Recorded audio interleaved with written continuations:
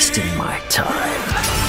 Hey there gamers, get ready for a wild ride as we dive into the post-apocalyptic world of Miasma Chronicles. Now, I'm not a big fan of turn-based tactical games, but the story of Miasma Chronicles, Miasma Chronicles, reminded me of Full Metal Alchemist.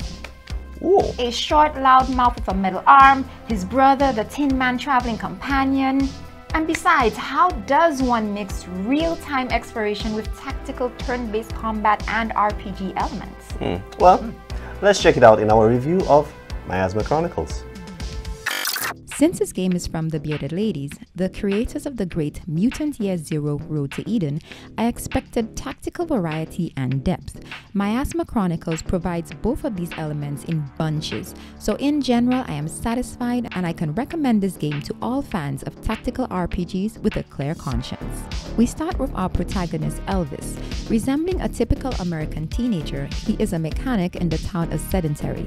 His only family is Diggs, the robot programmed to look like his older brother. Elvis's mother disappeared many years ago behind a wall of miasma, leaving her son a glove which allows him to control the substance. By the way, what is this miasma? These are small black particles that cause mutations and deformities in plants, animals, and humans. It is thanks to them that the once lush game world has turned into a desolate wasteland. Now, his mom commands him to find her and discover his own destiny. Cue the anime beginning credits. The overall plot is not bad and it can be interesting at times despite some cliches. More importantly, it did not interfere with exploring an interesting, dark, mysterious world, which, by the way, pleases the eyes regardless of whether the particles of miasma are swirling on the screen or not. I wanted to love the characters in the game and ship the brotherly human boy robot love between Elvis and Diggs, but the characters seemed weirdly exaggerated and lacking depth. Voice acting was well done, even if the dialogue was cringy or cliche. From the moment you start playing Miasma Chronicles, you'll scavenge for resources, craft weapons, and fight off hordes of mutated froggy creatures. There is turn based shooting from behind covers, with the hope that you won't miss the enemy who is also behind cover, hence the need for stealth. After spotting opponents, you usually have the opportunity to sneak up on them and prepare an ambush. When there are many opponents, you can first draw one away from the others and then pick them off one by one. In this way, you can mow down large groups of non intelligent enemies without taking even the slightest damage. If enemies should ambush you, it's going to require a lot more thinking and scheming. Ammo, weapons, and strategies are explained gradually so you can build attack combinations on your own.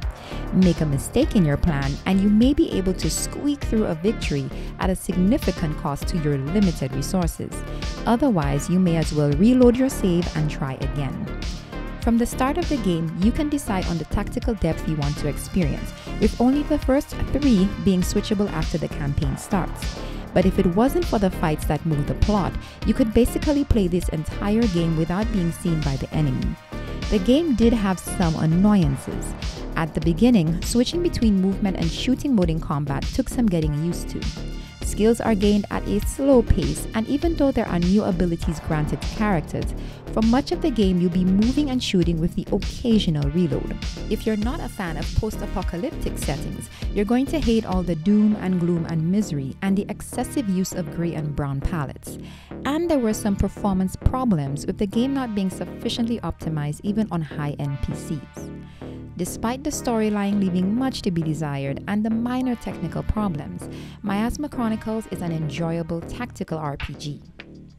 If you like strategy, the combination of real time exploration with a tactical turn based combat system and apocalyptic and fantastic settings, Miasma Chronicles is undoubtedly your game. After playing Miasma Chronicles, I can say that it will keep you hooked for a long period of time, especially if you enjoy turn-based games and apocalyptic themes. It excels in world building with its stunning visuals and it poses thought-provoking questions about real-world issues like the price of technological progress and the actions of the ruling class in the face of crises. Mm. Now, despite the grim setting, the story balances the dark with moments of humor and humanity. Well, Swedish developers, the bearded ladies certainly listened to their fans of their previous games and tightened up the stealth elements of the turn-based combat. If they can fix up some of the technical flaws, mm. then their game could surely be a hit. Mm-hmm. Now that's it for today's review of Miasma Chronicles. Now guys, don't forget to like, subscribe, and use our socials. Stay tuned for some more exciting gamified news reviews. Woo!